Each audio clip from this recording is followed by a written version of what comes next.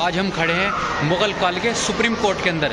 यही supreme court होता था और यही जो मेरे पीछे आप देख रहे हैं, इसी के अंदर शाहजहां बैठते थे और लोगों की फरियाद सुना करते थे। और इसी के यहाँ पास में शाहजहां के तीन बेटे बैठा करते थे शाह शुजा दारा शिको और औरंगज़ेब। आगे चलकर आपको वन बाई वन वीडियो में पूरी जानकारी दूँगा। चलते हैं आगे। गाइज़ आज मैं आपको लेकर आया हूँ दीवाने आम। दीवाने आम के बारे में आप यहाँ पर पढ़ सकते हैं। दीवाने आम को मुगल काल का सुप्रीम कोर्ट भी कहा जाता है। ये देख सकते हैं यहाँ पर ये जो काम है, कितनी बारीकी से यहाँ पर काम किया गया है। यहाँ पर कितनी बारीकी से फूल पत्तियाँ बनाई गई हैं। और ये जो पिलर है, इसी के नीचे आप देख सकते हैं, यहाँ पर कितनी बारीकी से काम किया गया है, जो फूल पत्तियाँ बनाई गई हैं। काफ़ी दूर तक इसी तरीके से फूल पत्तियाँ बनाई गई हैं यहाँ पर। और ये जो इस पे कंगूरे बनाए गए हैं, चारों तरफ़ इसके जो दर हैं, इसके जो मेहराब हैं, यहाँ पर इसी तरीके से कंगूरे बनाए गए हैं और देखने में यहाँ पर ऊँचे नीचे कंगूरे ये दिखाई देते हैं। मैं आपको दिखाऊँगा यहाँ से। ये देखिए, फूल पत्तियाँ जो है, कितनी बारीकी से यहाँ पर काम किया गया है। उस टाइम पर ना तो मशीनें होती थी। ये लोग किस तरीके से यहाँ पर काम करते होंगे? देखिए, ये मुगल काल का सुप्रीम कोर्ट है और इसी के अंदर सिंहासन है। जिस पर शाहजहां बैठते थे और लोगों की फरियाद सुना करते थे। ये मुगल काल का सुप्रीम कोर्ट है और यहाँ पर शाहजहां बैठते थे, लोगों की बातें सुनते थे। यहाँ पर काफ़ी तादाद में जो है वो लोग आए हुए हैं, इसकी फोटोग्राफी वगैरह कर रहे हैं। ये देखिए, जो शाहजहां का तख्ते ताउस है, जो शाह, शाहजहां का सिंहासन है, वो चारों तरफ़ से शीशे से घिरा हुआ है।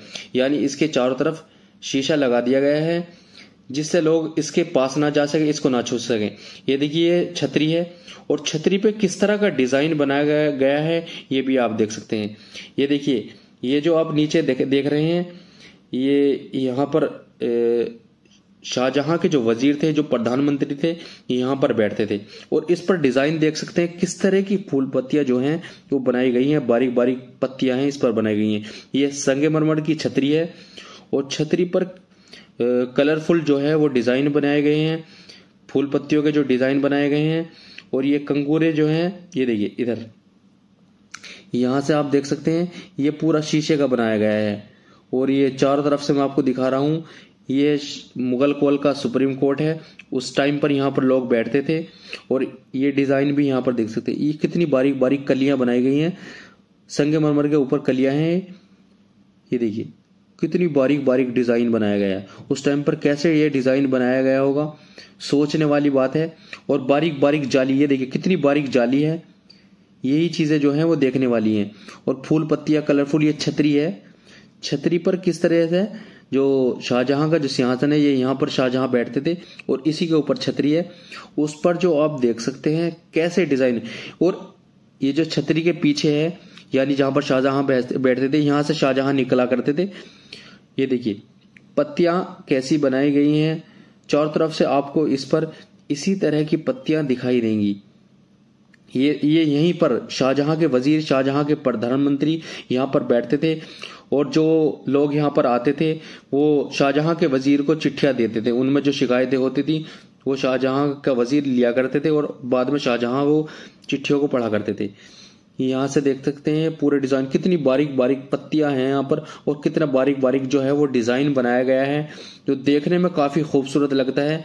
ये छतरी में किस तरह के डिज़ाइन है और इस पर चिड़िया बनाई गई हैं तरह तरह के पक्षियों का यहाँ पर मिश्रण किया गया है, पक्षियों को बनाया गया है। जो पीछे आपको एक दरवाज़ा इसमें दिखा रहा, दिख रहा होगा, इसके सिंहासन के पीछे, जहाँ से शाहजहां निकला करते थे और यहाँ पर बैठा करते थे। ये जो तख्ते ताऊ से जो सिंहासन है, यहाँ पर बैठते थे। ये चारों तरफ़ से डिज़ाइन देख सकते हैं आप इसका। ये अंदर इसके यहाँ पर दरवाज़ा है।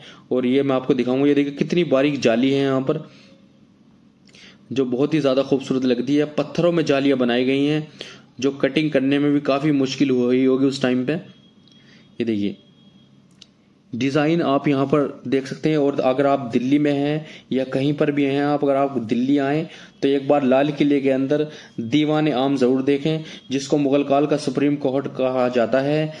ये देखिए, इसमें पिलर ही पिलर है, काफ़ी ज़्यादा पिलर हैं, और पिलरों पर जो कंगूरे बनाए गए हैं, मैं आपको आगे चलकर दिखाऊँगा, बहुत ही ज़्यादा खूबसूरत है। ये आप देख सकते हैं, ये नक्कार खाना जहाँ पर ड्रम बजाया गया जाता था, लोगों को जो खास आदमी यहाँ पर कोई आता था, जैसे शाहजहाँ आते थे तो नगाड़ा बजाया जाता था, ढोलक बजाया जाता था, जिससे शाहजहाँ के आने का पता लग जाता था। यहीं पर, ये देखिए, ढोलक बजाया जाता था यहाँ पर तो पता चल जाता था, सारे जितनी भी शाहजहाँ के जो लोग होते थे, जो यहाँ की आर्मी होती थी, उनको सबको अलर्ट हो जाते थे वो, कि शाहजहाँ आ रहे हैं। ये देखिए, डिज़ाइन देखिए यहाँ से। अगर आप ये डिज़ाइन देखते हैं ऊपर नीचे ये डिज़ाइन आपको लगता है कंगूरो कितना खूबसूरत डिज़ाइन है, और बिल्कुल ऊपर नीचे ये लगता है देखने में। जब आप नीचे खड़े होंगे तो आपको ऐसा लगेगा, ये डिज़ाइन जो है बिल्कुल सेम है। गाइज़ ये जो आप मेरे पीछे देख रहे हैं, ये मोती मस्जिद है, और ये औरंगज़ेब रहमतुल्लाह अलैह ने अपने जीवन काल में बनवाई थी, अपने निजी उपयोग के लिए इस मस्जिद को बनवाया था। इसमें औरंगज़ेब रहमतुल्लाह अलैह नमाज़ पढ़ते थे और इसमें जो शाही घराने की जो महिलाएँ थी, जो शाही घराने की औरतें थी, वो भी इस मस्जिद में नमाज़ पढ़ा करती थी। ये आप देख सकते हैं कितनी खूबसूरत मस्जिद है। आगे की जानकारी मैं आपको वन बाई वन वीडियो में दूँगा। गाइस, ये जो आप मस्जिद देख रहे हैं ये मस्जिद लाल किले के अंदर है और दीवान खास के बिल्कुल करीब है। मोती मस्जिद देखने में काफ़ी खूबसूरत लगती है और एक मस्जिद मोती मस्जिद ही है, वो भी जो ज़फ़र महल के अंदर है, जो मेहरोली में है। इस मस्जिद का निर्माण औरंगज़ेब ने सोलह से 1660 ईस्वी में करवाया था अपनी पत्नी नवाब बाई के लिए। इस मस्जिद में औरतें भी नमाज़ पढ़ा करती थी और औरंगज़ेब जो थे वो भी यहाँ पर नमाज़ पढ़ा करते थे। इस मस्जिद को बनाने में उस टाइम पर जो कीमत आई थी, वो एक लाख साठ हज़ार रुपए आई थी उस टाइम पे। मस्जिद जो है, वो काफ़ी खूबसूरत है। इस मस्जिद के अंदर तीन मेहराब हैं और यह मस्जिद तीन बल्ब नुमा जो गुम्बदे हैं, इसमें बनाए गए हैं। मस्जिद में ताला लगा हुआ है, जो मैं आपको दिखा रहा हूँ, इसके अंदर का जो व्यू दिखा रहा हूँ, ये इसकी जालियों में को दिखा रहा हूँ। क्योंकि मस्जिद चारों तरफ़ से बंद है, इसमें ताले लगे हुए हैं। मस्जिद में नमाज़ नहीं होती है यहाँ पर बस लोग आते हैं, मस्जिद को चारों तरफ़ से बाहर से ही देखते हैं। ये जाली है इसमें, और इसकी जो तीन गुंबद है जो इसमें मैंने आपको बता रहा हूँ, इस पर सोने और तांबे का पानी हुआ हुआ था, जो अठारह की क्रांति के बाद कहीं पर गुम हो गया, गायब हो गया। यहाँ पर मस्जिद के बाहर कुछ लोग बैठे हुए हैं, और इसको सिर्फ़ आप अगर देखना चाहते हैं तो बाहर से ही देख सकते हैं, इसमें ताला लगा होने की वजह से। यहाँ पर काफ़ी लोग आते हैं लाल किले के अंदर, और लाल किले के अंदर ही ये मस्जिद है। ये सामने आपको दिखा रहा होगा, ये है दीवाने खास, और ये है आप देख सकते हैं, ये मोती मस्जिद है। ये गुम्बदे आप देख सकते हैं, इन पर सोने और तांबे का पानी होता था उस टाइम पर। गाइस ये जो आप मेरे पीछे बावली देख रहे हैं ये मुगल काल के टाइम में बनाई गई थी और दिल्ली में पानी की कमी होने की वजह से इस बावली को बनाया जाता था। क्योंकि पानी की कमी होती थी तो यहाँ पर पानी जब बारिश होती थी तो यहाँ पर पानी इकट्ठा हो जाता था और पूरे साल इसी पानी को यूज़ किया जाता था। ये आप देख सकते हैं। गाइज़ आगे की जानकारी हम आपको वीडियो में वन बाई वन देंगे। ये देख सकते हैं, यहाँ पर ये बावली है, जो लाल किले के अंदर है। काफ़ी गहरी बावली है और इसके अंदर अभी भी पानी भरा हुआ है। काफ़ी बड़ी ये बावली है। बावली उस टाइम पर जो होती थी, वो वहाँ पर पानी भरा हुआ था, होता था। पानी इसलिए भरते थे क्योंकि उस टाइम पर पानी की बहुत ज़्यादा कमी थी और दिल्ली के अंदर जो पानी है, जो अच्छा पानी है, उसकी अभी भी कमी है।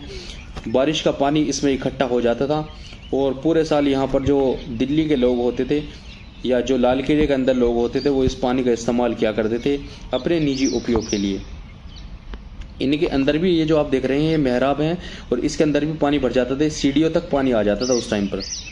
पूरी ये बावली फुल हो जाती थी पानी से। जो अभी इस टाइम पर आप देख रहे हैं, यहाँ पर गंदा पानी है इसके अंदर और उस टाइम पर बिल्कुल सफ़ेद, जो पानी था बिल्कुल साफ़ हुआ करता था। देखिए, कितना गंदा पानी हो रहा है यहाँ पर। पानी के ऊपर भी कहाई आ रही है। अगर आप लाल किला आए तो एक बार बावली भी ज़रूर देखें। यहाँ पर आप बावली के ऊपर ये यहाँ बोर्ड लगा हुआ है। बावली के बारे में यहाँ पर पूरी जानकारी ले सकते हैं।